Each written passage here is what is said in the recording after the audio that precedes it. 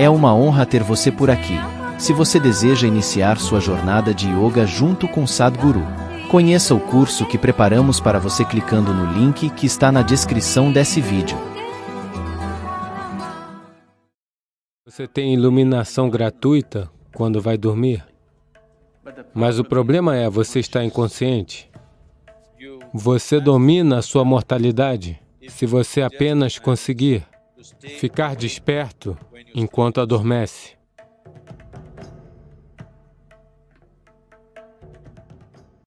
Alguém pode ser muitas coisas, mas para o mundo, essa dimensão, que é uma possibilidade para o mundo, é a coisa mais importante. Então, ele ser um yogi é a coisa mais importante. Ser um yogi significa muitas coisas. Um aspecto de um yogi é que ele dorme em sua vigília e está desperto em seu sono. Ele deve estar totalmente desperto, mas se você checar os parâmetros do corpo, ele deve estar dormindo. No sono, tudo deve estar adormecido, mas você deve estar desperto. Seu corpo deve dormir, sua mente deve dormir, tudo deve dormir, mas você deve estar desperto. Quando você está dormindo profundamente, você está em perfeita sintonia com a existência, uno com a existência, não é? A natureza lhe deu isso, se você se esqueceu, todos os dias quando você dorme, ela lhe faz uno com a existência. No mesmo sentido de unidade, se você puder acordar e andar por aí, você conseguiu, não é? Todos os dias você tem iluminação gratuita quando você vai dormir. Mas o problema é que você está inconsciente. Então o sadhana é essencialmente isso, que desde a vigília, quando você vai dormir, uma certa parte de você vai dormir, uma certa parte de você, se ela permanece desperta, então você conseguiu. De outra forma, quando você acordou, uma certa parte de você permaneceu dormindo, então você conseguiu.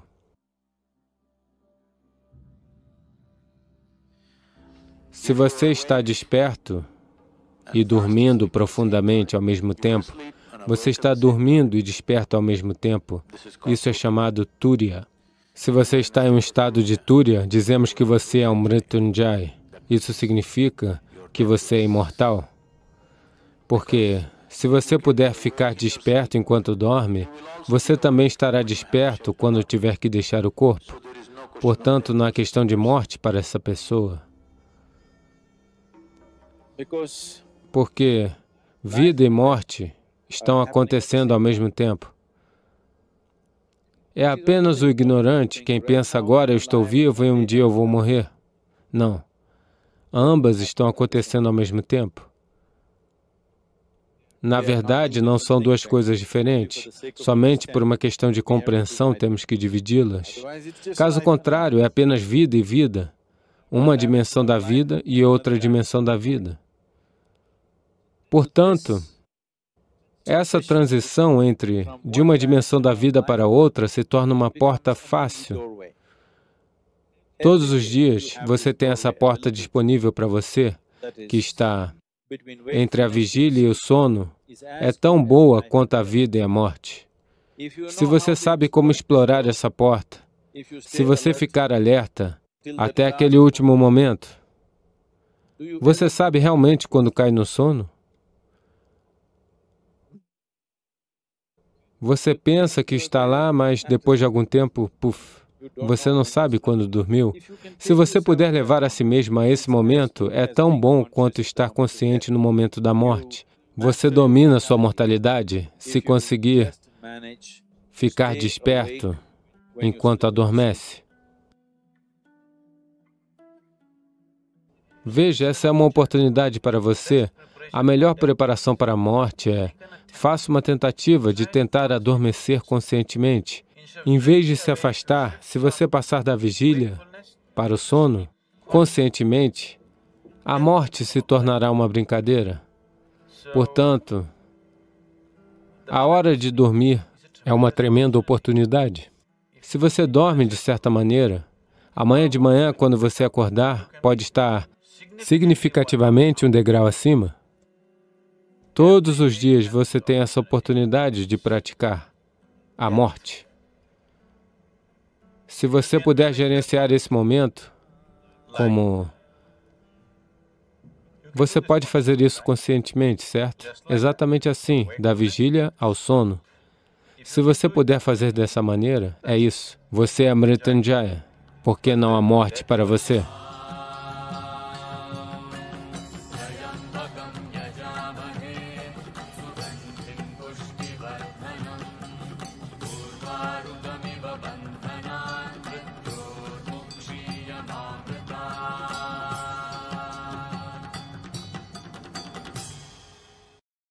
A questão é, existe renascimento? Se existe, qual é a base para um ser passar de um nascimento para o outro? O que leva uma pessoa de uma vida para outra?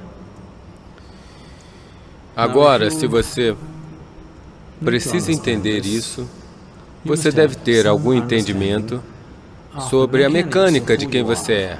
Estou falando da mecânica de como o ser humano é criado. Veja, quando você diz que sou um ser humano, a periferia mais externa é o corpo físico. No yoga, vemos tudo como corpo, porque é mais fácil para você entender dessa maneira. Então, vemos o corpo como cinco dimensões, ou cinco camadas. O corpo físico é conhecido como Anamaikosha. Anamaikosha significa, Ana significa comida. Este é o corpo de comida. O próximo é chamado Manomai-kosha, o que significa que é o corpo mental. O terceiro é chamado Pranamai-kosha, que significa o corpo energético. Corpo físico, corpo mental, corpo energético. Todas essas três dimensões são físicas. Elas são existência física. O corpo físico é muito grosseiro, o corpo mental é mais sutil, o corpo energético ainda é mais sutil, mas todos esses três são físicos. É como se a lâmpada é física, você pode ver isso. A eletricidade por trás também é física, não é? O fio que se conecta também é físico, os elétrons que fluem através do fio também são existência física. Da mesma forma, corpo físico, corpo mental, corpo prânico, são todos dimensões físicas da vida. Essa dimensão física da vida, em todas essas três dimensões, carrega as impressões do karma. No corpo está impresso, na mente está impresso e na energia está impressa. Essas impressões kármicas, ou a estrutura kármica, são o que as mantém unidas. Karma é o cimento que mantém você no corpo físico. O karma é a escravidão. Ao mesmo tempo, é apenas por causa do material kármico você pode se manter no corpo e estar aqui. É aqui que a espiritualidade parece difícil, porque se você tentar removê-lo, não funciona. Se você tentar somá-lo, não funciona. Você precisa apenas estar lá. Se você apenas está lá, é um momento. Agora, as próximas duas dimensões são chamadas Vijnana Maikosha e Ananda Maikosha. Vijnana Maikosha é não físico, mas relacionado ao físico. É como um estado transitório. A Ananda Maikosha é completamente não físico. Então, Vijnana Maikosha e Ananda Maikosha significa que é o corpo de bem-aventurança. Existe um corpo de bem-aventurança internamente, o qual é 100% não físico, não tem forma própria. Somente se o corpo energético, o corpo mental e o corpo físico estiverem bem formados, ele pode manter o corpo de bem-aventurança bem formado. Se essas coisas forem removidas, o corpo de bem-aventurança se tornará uma parte do cosmos. Portanto, o que você está chamando de Atman ou de alma é uma ficção, na verdade no sentido de que as pessoas estão descrevendo uma certa limitação do não físico como alma. Mas o corpo, para a alma, ainda é seu karma. Se a estrutura kármica for completamente desmantelada, não há alma. Tudo se funde em todo o resto. O que é chamado de Mahasamadhi ou Mahaparinirvana é exatamente isso que você compreende lentamente onde estão as chaves e desmantela a estrutura kármica para que você verdadeiramente não exista mais. Quando alguém morre, dizemos que essa pessoa não existe mais. Isso não é verdade. Essa pessoa não é mais da maneira como você a conhece, mas elas ainda de fato existem. Agora, se você desmontar a estrutura kármica 100%, então você se fundirá com a existência.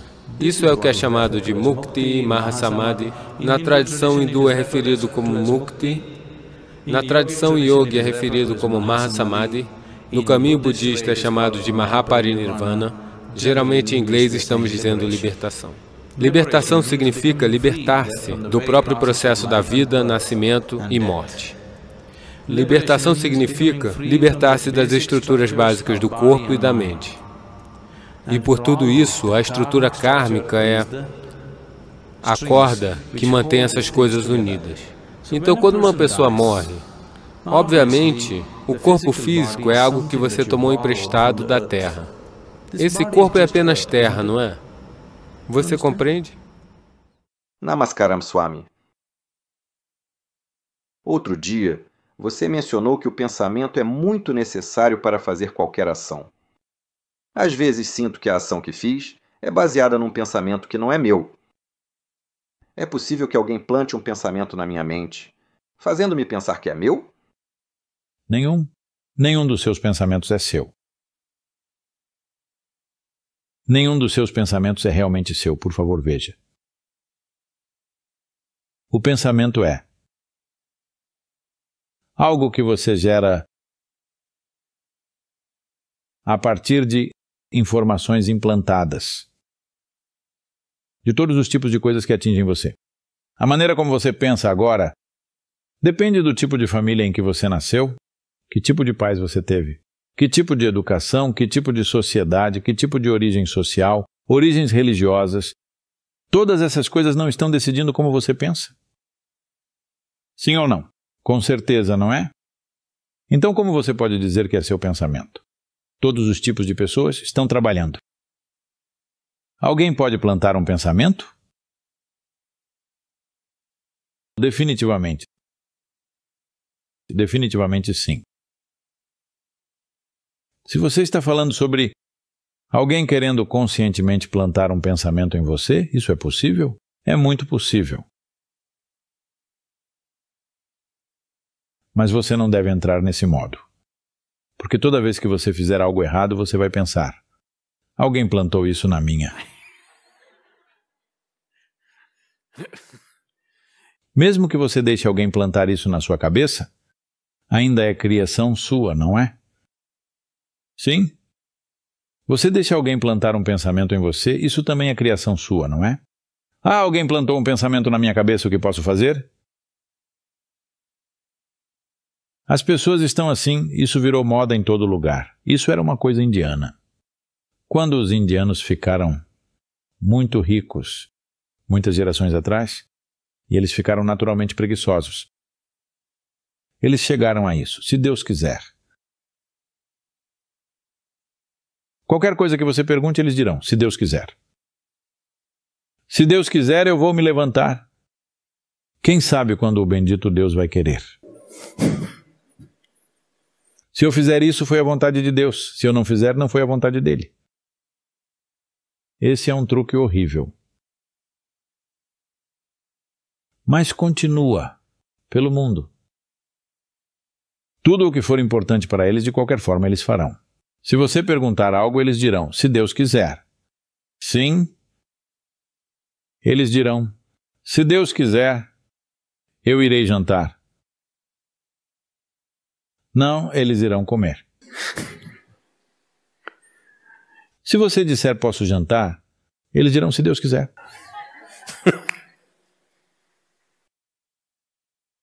Então, podemos plantar um pensamento? Definitivamente podemos. Na verdade, podemos plantar toda uma filosofia em você se você quiser. Por que apenas um pensamento? Uma série completa de pensamentos, uma série complexa de pensamentos, podemos plantar na sua cabeça. Mas. Existem diferentes maneiras de plantar um pensamento. Existem maneiras obscuras de fazer isso. Existem maneiras diretas de fazer isso. Existem outras maneiras de fazer isso, em que um pensamento não é plantado. Você é levado a pensar de uma certa maneira, puramente para seu bem-estar. Isso precisa ser feito. Caso contrário, você vai se espalhar por todo canto e passar a vida sem nenhum propósito, sem chegar a lugar nenhum. As formas obscuras de fazer isso envolvem muitas diversas artes obscuras através das quais eles plantarão pensamentos negativos em sua cabeça. Onde você trabalhará para sua própria destruição. Uma maneira direta de fazer isso é a dos professores escolares. Eles estão tentando te dizer isso é melhor, isso é melhor, isso é melhor, sabe? Constantemente. Ou a maneira dos gerentes de marketing. A Coca-Cola é a coisa real, é a coisa real, é a coisa real, é a coisa real. Agora você diz, é a coisa real. Se eu disser é a coisa real, você dirá Coca-Cola. Em todo lugar está escrito ao redor do mundo é a coisa real. Então, isso é apenas por repetição. É direto, se quiser, você pode rejeitar. Mas o primeiro, se você for vulnerável, de alguma forma você não tem escolha, ele entrará na sua vida de qualquer maneira. A última maneira de fazer isso só acontecerá se você estiver disposto, aberto e receptivo. Do contrário, a pessoa que faz a última maneira de colocar pensamentos em você nem está interessada em fazer tais coisas.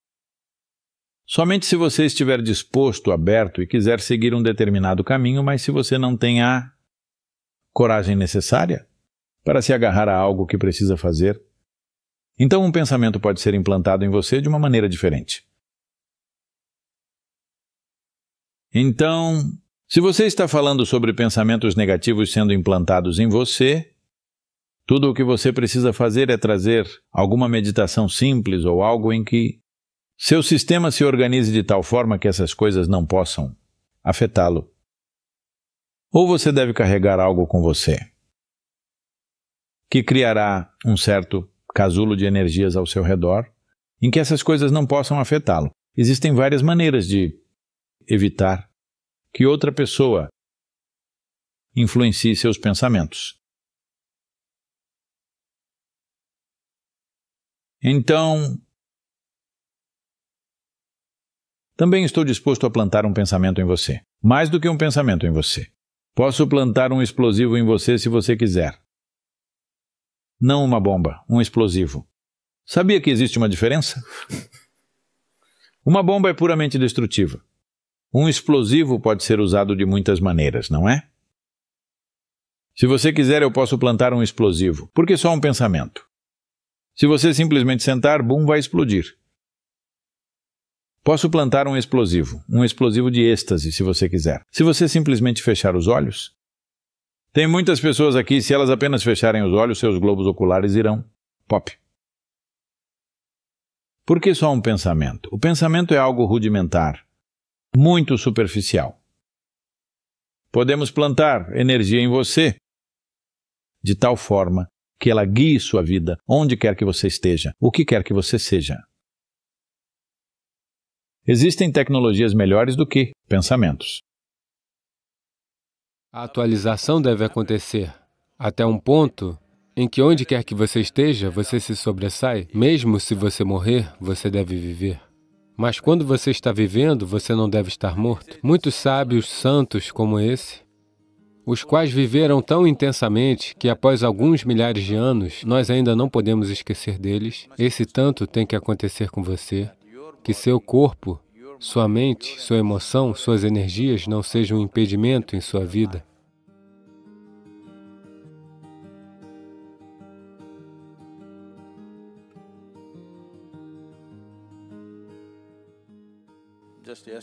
Ainda ontem alguém estava me lembrando, nem eu mesmo tinha percebido isso. Eu tive uma agenda difícil nos Estados Unidos e no Reino Unido, eu aterrisei aqui. Fiquei apenas um dia no ashram e depois fui para a Austrália, programação sem fim. Um dia eu adoeci. Esse é seu karma. Karma significa não algo que caiu sobre você de algum lugar. Karma significa sua ação, é sua criação, é você quem faz. Antes de você ir para a cama, tudo o que não é você, mantenha de lado. Elas podem ser preciosas para você. Pense nisso. A sua casa é você? Oh, minha casa. Tudo bem, você tem muita paixão por ela, mas tudo bem, mantenha de lado. Seu marido é você? Não, essa é fácil, ele não sou eu.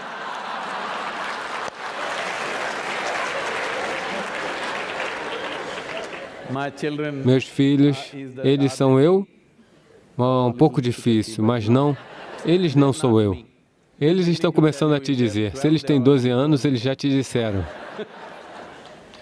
Então as roupas que você veste é você? Não. O corpo que você usa é você? Não. Todos esses pensamentos e emoções, isso é você? Não. Tudo que não seja você, mantenha-os numa pilha. Não fisicamente, apenas faça isso mentalmente. Mantenha tudo de lado. Deixe-me ver. Todo dia você pratica isso. Um dia, quando você conseguir manter de lado tudo o que você não é, o que você é estará lá.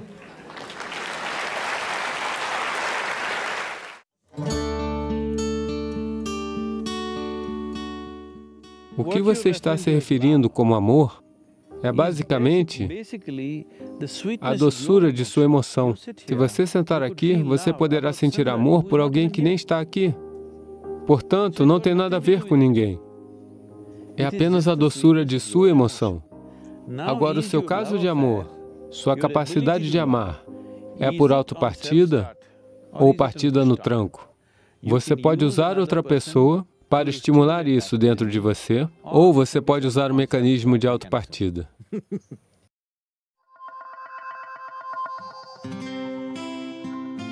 Veja, o que é essa necessidade de amor em um ser humano? Constantemente, um ser humano deseja ser algo mais do que eles são agora. O problema é que você deseja incluir algo que não faz parte de você como você mesmo. Esse é todo o esforço. Se isso acontecer emocionalmente, no nível emocional, se você tentar isso, chamamos isso de um caso de amor, você está tentando fazer alguém que não é parte de você, parte de si mesmo, emocionalmente. Isso é um caso de amor. Se você fizer isso conscientemente, chamamos isso de yoga. Durante cinco minutos, todos os dias, sente-se com algo que não significa nada para você. Pode ser uma árvore, uma pedra, uma minhoca ou um inseto. Depois de algum tempo, você vai descobrir que você pode olhar para isso com tanto amor quanto você tem pela sua esposa, marido, mãe, filho ou cachorro. Pode ser que a minhoca não saiba disso, o inseto não saiba disso. Isso não importa. Se você pode ver tudo com amor, o mundo inteiro explode em um belo fenômeno para você. Você percebe que o amor não é algo que você faz, é a sua maneira de ser?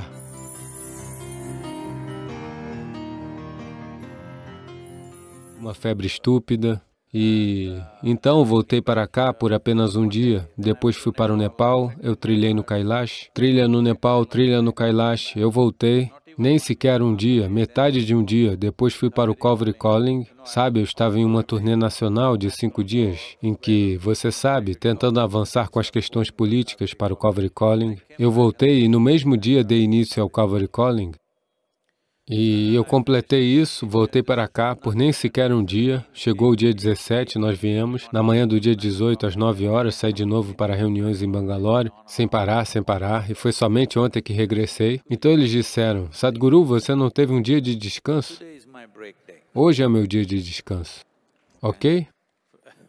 Por que vocês estão aplaudindo?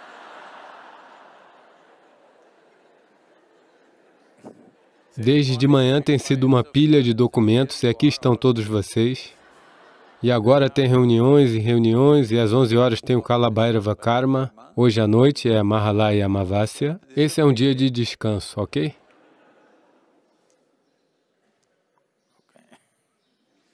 Então, o corpo irá reclamar de vez em quando? É claro que vai. Se o corpo não está reclamando, significa que você não está fazendo uso dele. Olá? Ele tem que reclamar. Mas você não reclama. Isso é tudo que você tem que aprender. Para isso, você precisa de devoção ao que você esteja fazendo. Se você não tem devoção, antes do corpo, a mente irá reclamar, a emoção irá reclamar, tudo irá reclamar. Não, não, não. Primeiro o corpo deveria reclamar. Isso significa que você está fisicamente esgotado. Depois a mente pode tomar uma decisão um pouco criteriosa. Como eu, você pode fazer uma pausa assim como eu. Isso significa que até as 12 horas da noite você estará ativo. Apenas até a meia-noite. Depois disso, você estará dormindo. Caso contrário, continuará até as duas horas da manhã. É um dia de descanso. Se o seu corpo não está sentindo que a vida é dura, o corpo, não a mente. Se o seu corpo não está sentindo que a vida é dura, isso significa que você não está fazendo nada que vale a pena. Seu corpo deve estar constantemente esgotado. Ele deve sentir. É dura. Quando você vai para a cama, você não deve dormir, você deve morrer. Sim,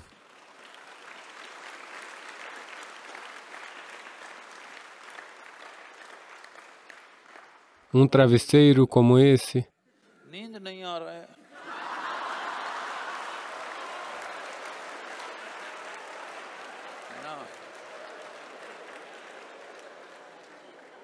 Você se deita na pedra, você cai morto. Simplesmente desse jeito. É assim que você deve estar no final do dia. Então, no dia seguinte, de manhã, ele vai ressuscitar, como se estivesse nascendo de novo. Desse jeito, não. Você deve sentir que é duro para o sistema, porque essa é a sua natureza. Quanto mais você o esforça, mais forte ele se torna, melhor ele se torna. Aqueles que estão tentando poupá-lo para outro dia, não fazendo uso dele, eles vão a vida não pode ser preservada, isso deve ser entendido. Coisas mortas podem ser preservadas. A vida não pode ser preservada, ela só pode ser nutrida e usada. Se você está tentando se preservar e poupar a si mesmo, não vai funcionar. Eles estavam constantemente me bombardeando em... onde foi isso? Bangalore ou Delhi, em algum lugar. Muita atividade, reunião sem parar. Eu disse, eu vou tirar férias por uma hora.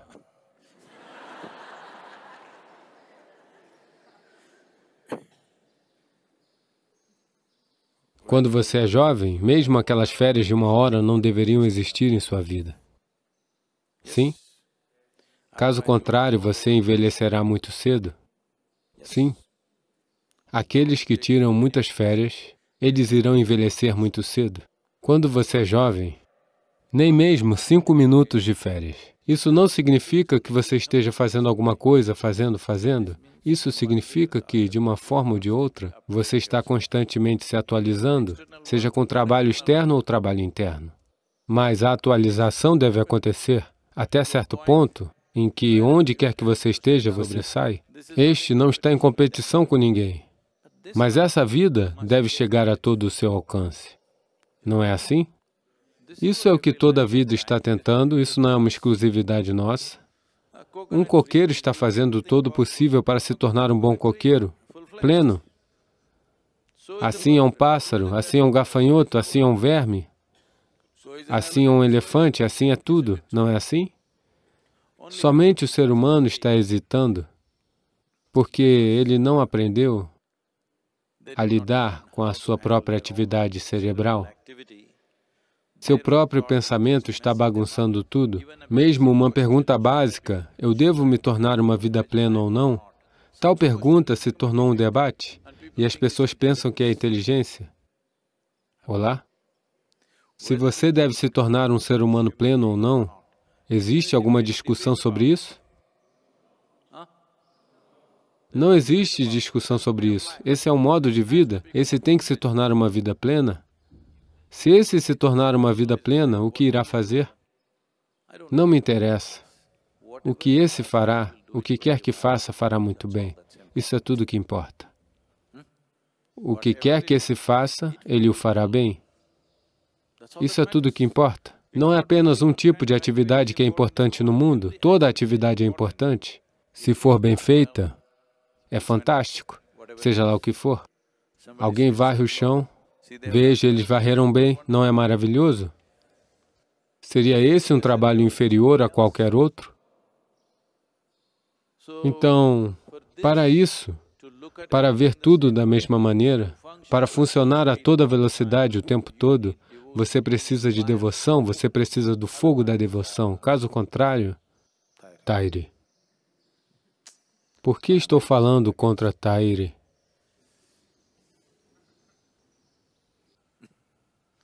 Isso pode se tornar discriminação contra as vacas.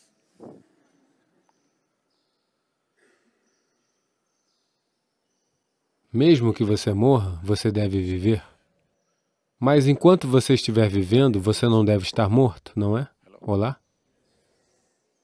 Aqueles que realmente viveram plenamente mesmo que estejam mortos há muito tempo, eles ainda vivem, não é? De alguma forma?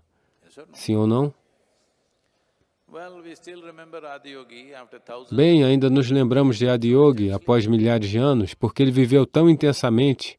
Muitos sábios, santos como esse, viveram tão intensamente que após alguns milhares de anos, nós ainda não podemos esquecê-los. Eles ainda vivem em nossas mentes e corações. Dentro de alguns dias, é o centésimo quinquagésimo aniversário de nascimento de Mahatma Gandhi. Vejo o homem ainda vive simplesmente porque o que quer que ele estivesse fazendo, podemos concordar, discordar dele em muitas coisas, mas o que quer que ele estivesse fazendo, ele o fez absolutamente sem hesitação, não é mesmo? Esse tanto tem que acontecer com você, que seu corpo, sua mente, sua emoção, suas energias não sejam um impedimento em sua vida. Eles são instrumentos de empoderamento em sua vida. Isso é o que não você há ninguém que não tenha sido feliz. Todo mundo já foi feliz. Mas o problema é, eles não são capazes de mantê-la. Isso é tudo. Só há duas coisas. Quão alegre é você e quanta alegria você oferece às pessoas ao seu redor. Faça isso por dois dias e veja você se tornará algo verdadeiramente. Portanto, eu não estou tentando menosprezar, tampouco zombar das ciências médicas. É muito significativo o que foi alcançado nos últimos 30, 40 anos, é fenomenal. A questão é exatamente essa. Se você tivesse acesso à fonte daquilo que cria este corpo, Definitivamente, todos os problemas que você gera dentro do corpo poderiam ser resolvidos. Agora, existem dois tipos de enfermidades, infecciosas e crônicas. Doenças infecciosas nos acontecem por causa de uma invasão externa de um organismo. Você deve ir ao médico. Não tente meditar sobre isso. Mas 70% das enfermidades do planeta são autocriadas. Eu estou dizendo autocriada porque acontece a partir de dentro de você. Portanto, o que está acontecendo de dentro de você pode ser muito facilmente corrigido dentro de você. O que chega até você vindo de fora, você precisa de ajuda externa para isso. Portanto, se você precisar lutar contra um organismo, então você precisa de remédios. O resto das enfermidades, quase 70%, são autocriadas. Por que seu corpo trabalharia contra você? Este corpo é essencialmente programado para a saúde, cada célula deste corpo é programada para a saúde, por que ele se voltaria contra você? Porque de alguma forma você não está mantendo-o feliz? Para colocar isso numa linguagem muito simples, por que sua própria família se voltaria contra você? De alguma forma ela não está contente com você, não é mesmo? Sim ou não? Ela não está contente com você com algo que você esteja fazendo? Assim, da mesma forma, algumas células do corpo, algumas partes do seu corpo não estão felizes com você por algum motivo. Você precisa prestar um pouco mais de atenção Há uma maneira, uma maneira sistemática de prestar atenção a este aqui, porque tudo neste corpo foi criado a partir de dentro. Sendo assim, não poderia ser consertado a partir de dentro? Portanto, isso não é um milagre. Eu quero que as pessoas entendam que isso não é um milagre. Um milagre é Suponha que você não soubesse o que é eletricidade.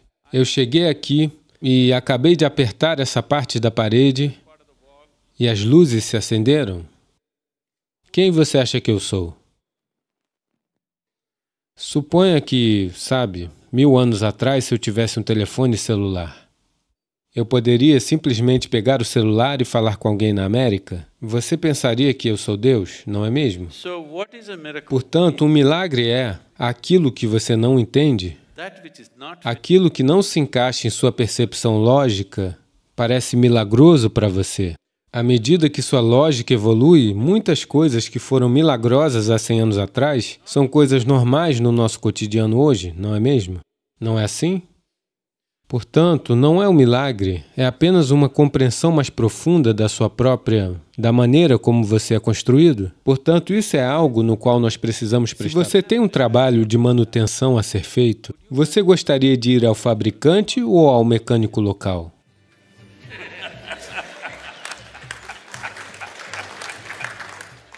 Tudo neste corpo foi criado a partir de dentro.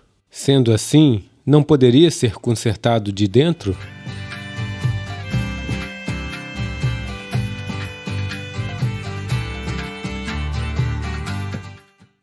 As milhares de pessoas que estão assistindo ao vivo na internet, todas elas querem saber: existe alguma prescrição para uma boa saúde? Espiritualidade, yoga, meditação? Porque eu vi, sabe, algumas das coisas impossíveis que você fez por outras pessoas quando elas não estavam bem. Mas, e o mais importante, quando a sua saúde estava ruim, nenhum médico ou nenhum dicionário ou anuário médico pôde jamais detectar. Então, existe algo a mais para se manter bem? Eu li no livro, Arundhati escreveu lindamente na sua biografia. Ela diz que você é um místico, sabe, para ter tido uma doença não diagnosticada e depois ter conseguido curá-la. Veja. Todo... Eu espero que todos tenham a mesma pergunta sobre a própria saúde. Vocês querem permanecer saudáveis, certo? Eu sei que todos que estão nos vendo hoje, eles querem saber por qual motivo o Dr. Red nunca fez essa pergunta.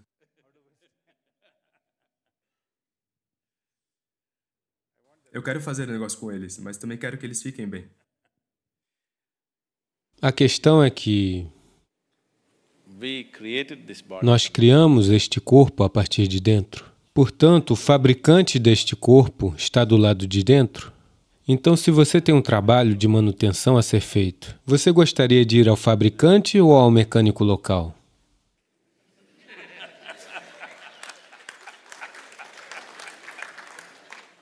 Se você tivesse acesso, se tivesse acesso, você gostaria de ir até o fabricante? Se você perdeu o acesso, você irá até o funileiro local para fazer isso e aquilo? Se não houvesse uma ciência médica como existe hoje, eu diria que pelo menos a metade das pessoas já estaria morta aqui desta plateia. Sim.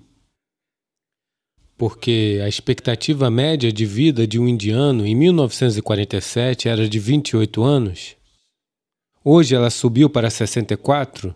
Um fator importante é a ciência médica da maneira como ela é. Quero que você saiba, de todas as pessoas que vão para a cama essa noite, mais de um milhão de pessoas não irão acordar amanhã de manhã. E se você e eu acordarmos amanhã de manhã, não é uma coisa fantástica? Um milhão de pessoas não acordaram. Você acordou. Não é uma grande coisa? Parece que você não pensa assim. Porque o problema é exatamente esse. Você está vivendo com uma ideia de que é imortal. Quando eu digo que você é imortal, você não está realmente pensando que é imortal, mas você não está consciente de sua mortalidade. Se você não está consciente da sua mortalidade, em algum lugar você pensa que é imortal, não é? Quantos momentos em um dia você tem consciência de que é mortal? Se você estivesse consciente, você teria tempo para choramingar, você teria tempo para brigar com alguém, teria tempo para fazer alguma besteira com sua vida.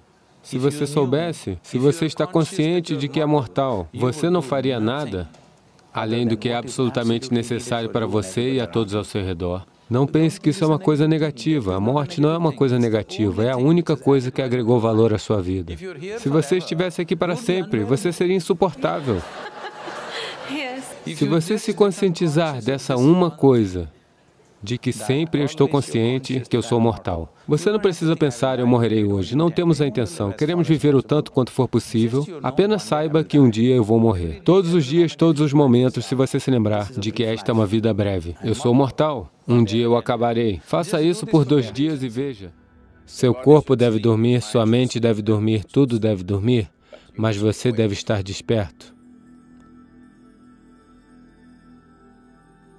Quando você está dormindo profundamente, você está em perfeita sintonia com a existência, uno com a existência, não é?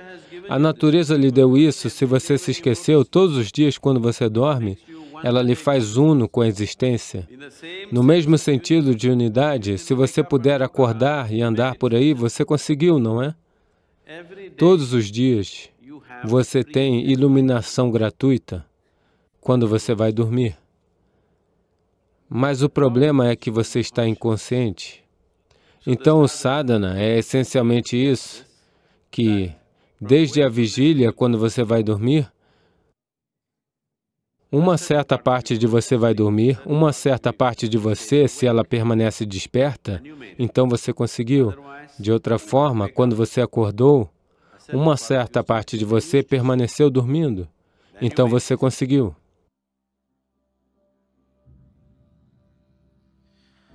Se você está desperto e dormindo profundamente ao mesmo tempo, você está dormindo e desperto ao mesmo tempo. Isso é chamado Turiya. Se você está em um estado de Turiya, dizemos que você é um Mrityunjay. Isso significa que você é imortal.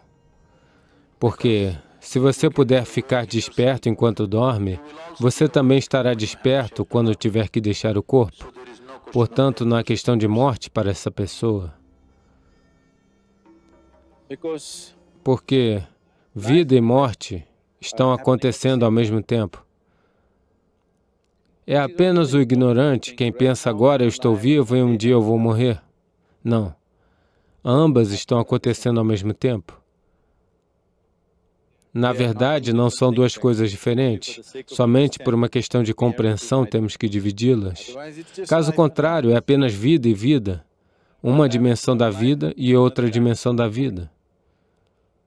Portanto, essa transição entre de uma dimensão da vida para outra se torna uma porta fácil. Todos os dias você tem essa porta disponível para você, que está entre a vigília e o sono, é tão boa quanto a vida e a morte. Se você sabe como explorar essa porta, se você ficar alerta até aquele último momento, você sabe realmente quando cai no sono? Você pensa que está lá, mas depois de algum tempo, puf, você não sabe quando dormiu. Se você puder levar a si mesmo a esse momento, é tão bom quanto estar consciente no momento da morte. Você domina sua mortalidade se conseguir ficar desperto enquanto adormece.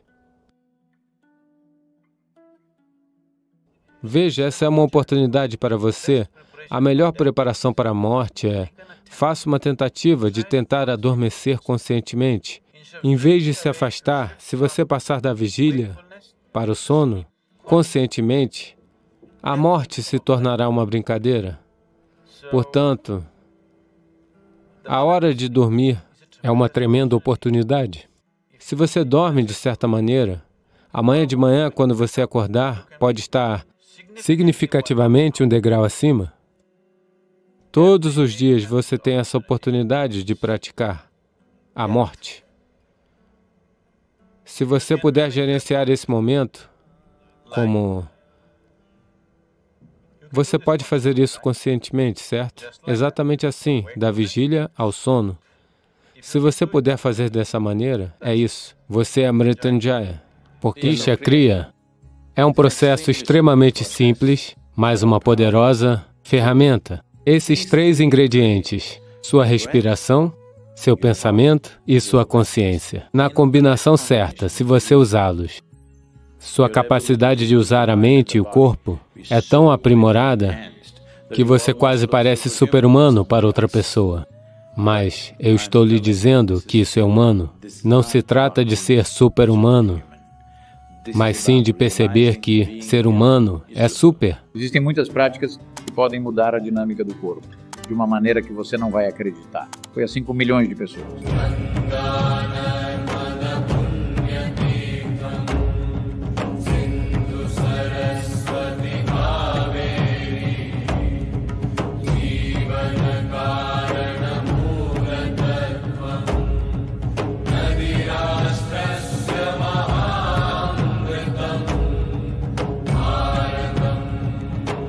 Por que o